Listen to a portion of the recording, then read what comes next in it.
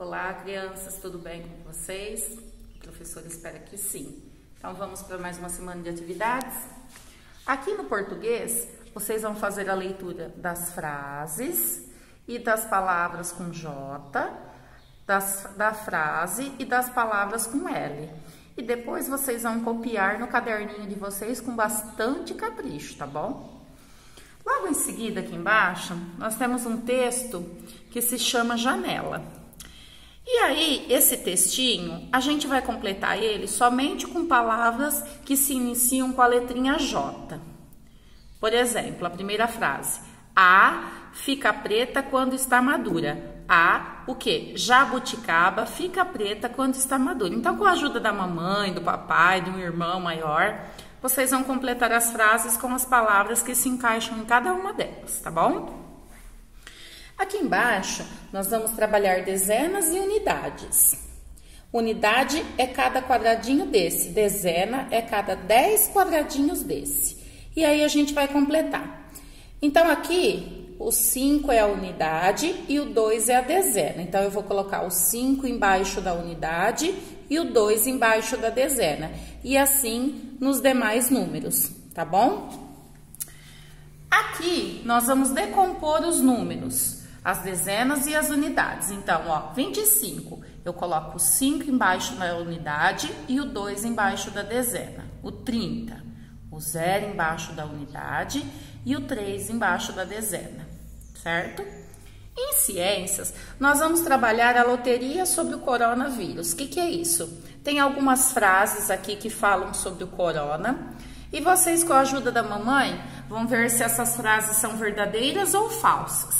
O coronavírus é contagioso? É verdadeiro. Então, eu vou fazer um X no V de verdadeiro ou no F de falso? Eu vou fazer um X aqui no quadradinho do V de verdadeiro. E assim vocês vão fazendo nas demais frases, tá bom? Com bastante atenção. No português, nós vamos fazer a leitura da quadrinha, que é uma quadrinha que trabalha a letra L. E aí, aqui embaixo, depois, nós temos algumas atividades. Na primeira, vocês vão circular todas as palavras que se iniciam com a letrinha L. Na segunda, de acordo com a quadrinha, a quadrinha fala que o livro acende uma luz na... Aí vocês vão ter que ver aonde que é, se é na sala, se é na mente ou se é na cozinha. E aqui embaixo, depois que vocês circularam todas as palavras com L, vocês vão copiá-las uma em cada quadradinho desse.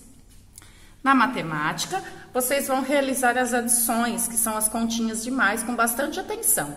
Então, 9 mais 1, vocês vão lá, vão contar ou no dedinho ou no lápis de cor, do jeito que for mais fácil para vocês. Nessa matemática aqui, nós vamos resolver as subtrações, né? Com dois algarismos, unidade e dezena. Nós vamos sempre começar pela unidade. Então, 5 menos 3, eu vou lá, conto no meu dedinho e coloco o resultado. 7 menos 2, mesma coisa, conto no dedinho e coloco o resultado. Lembrando, é sempre primeiro a unidade e depois a dezena. Aqui nós vamos trabalhar um ditado recortado da letra J. Então, nós temos as figuras aqui, janela, jipe, jarra. Vocês vão recortar as palavrinhas aqui e colar embaixo do nome da figura correta. Por exemplo, janela, eu vou achar onde está janela e vou colar aqui embaixo a palavra janela. E na matemática, nós temos alguns balões aqui e, tem, e temos os números no, no, balão do meio. O que, que nós vamos fazer? Nós vamos colocar o sucessor e o antecessor. Por exemplo, o 18. Quem vem antes do 18? O 17.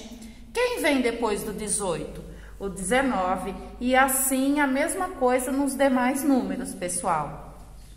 Uma boa semana para vocês e bons estudos.